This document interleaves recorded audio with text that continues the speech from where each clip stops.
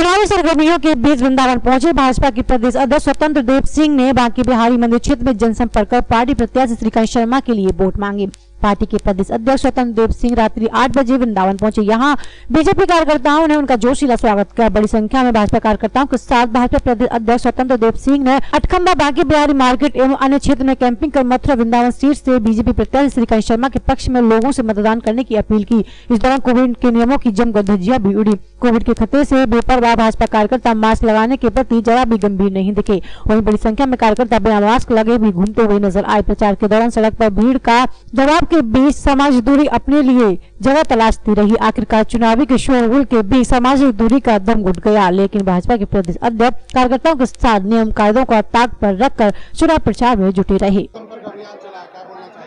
केंद्र सरकार की, राज्य सरकार की सात साल की और पाँच साल की योजना लेकर जनता के बीच में गए। और प्रभु बाके बिहारी जी महाराज के चरणों में प्रार्थना किया हूँ। कि शक्ति दे।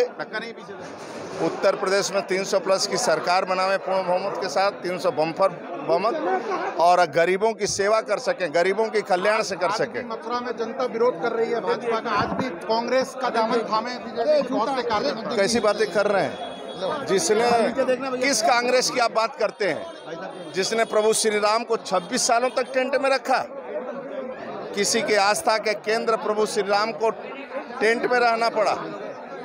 केवल इसलिए रहना पड़ा कि कांग्रेसियों ने हलफनामा दिया था। यदि हलफनामा